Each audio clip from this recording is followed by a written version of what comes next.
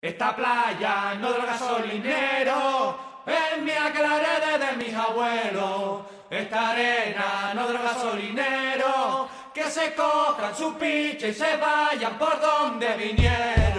Bueno, pues creo que sería un fracaso colectivo, y digo colectivo porque si apostamos por el petróleo, aunque sea por un tiempo determinado, estaríamos diciendo no a otra alternativa que se demuestra viable y para la cual Canarias tiene muchísimas características favorables, como es el de las energías renovables. Por lo tanto, un fracaso colectivo porque estamos dando la espalda a una oportunidad de negocio y a una sostenibilidad de todo el archipiélago canario mejor que el petróleo.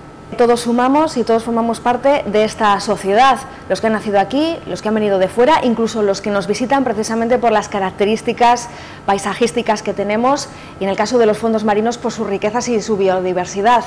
Por lo tanto, a todos animaría porque tenemos que poner nuestro granito de arena y si no se consigue nada, no se consigue, pero los que pensamos en que es posible un mundo mejor que el que tenemos, tenemos que esforzarnos en eso, en estar en la calle y en decir no a las prospecciones. Esta playa no del gasolinero, es la heredé de mis abuelos. Esta arena no del gasolinero, que se cojan su piche y se vayan por donde vinieron.